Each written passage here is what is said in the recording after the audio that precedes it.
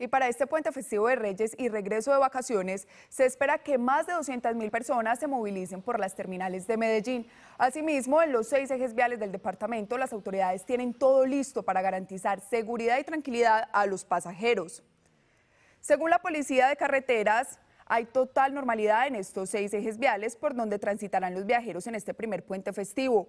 Para quienes estén pensando en salir de la ciudad, la Policía Nacional recomienda revisar las condiciones del vehículo y para viajes de más de ocho horas contar con un segundo conductor con el fin de concientizar a los viajeros de transitar con prudencia y responsabilidad, se adelanta la campaña Sea prudente a la hora de transitar, con la cual buscan nombrar a los niños como copilotos de las vías para que alerten a sus padres para que no cometan algún tipo de infracción. Según la Gerencia de Seguridad Vial Departamental, hay flujo vehicular en todas las vías de Antioquia sin ninguna novedad y las rutas de transporte terrestre que transitan hacia el Urabá antioqueño están viajando con total normalidad. Es que los usuarios tomen los vehículos en las terminales legalmente constituidas. Segundo, que compren tiquete y exigen un tiquete.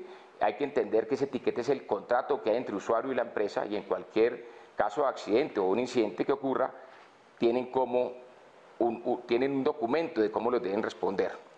Tercero, que no permitan que el vehículo pare en sitios no autorizados.